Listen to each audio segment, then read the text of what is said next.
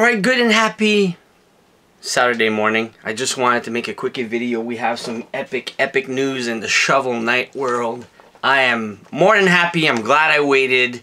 Uh, it's one of the best classic indie game. Pretty much started the whole, I think, helped indie gaming go up and above with that game series. The Shovel Knight series is a classic must own, must buy. But we had the Shovel Knight Treasure Trove on Nintendo Switch. Yes, it's digital, and you know what I do with digital? I don't buy it, but I'm super happy and surprised that I feel like digital is not really winning these days. And people are not, well, especially Nintendo eShop, it's pretty much a loss. We experienced it with the Wii and the Wii U eShop store. We still don't have it on the Switch.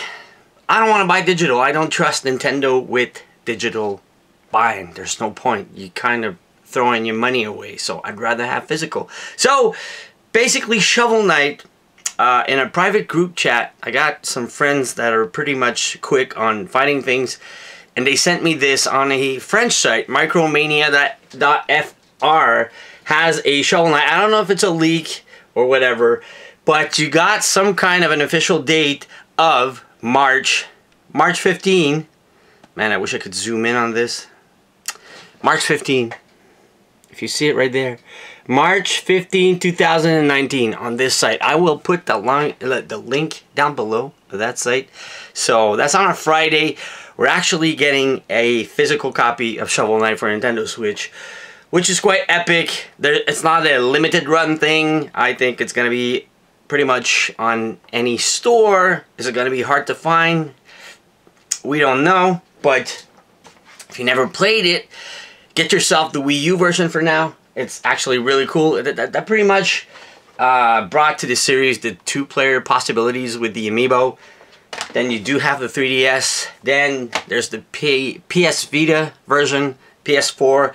That's a cross-platform. It's actually cool. If you only buy it digital in the PS4 form, uh, you will get it on PS Vita as also.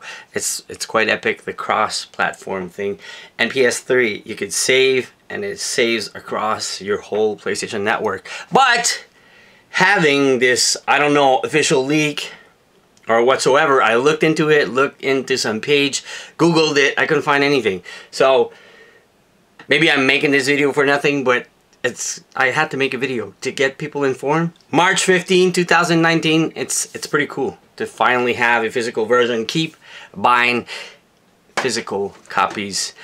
Digital will die. I hope so. Eventually in the future, I don't know, but for now, gotta go with physical with Nintendo.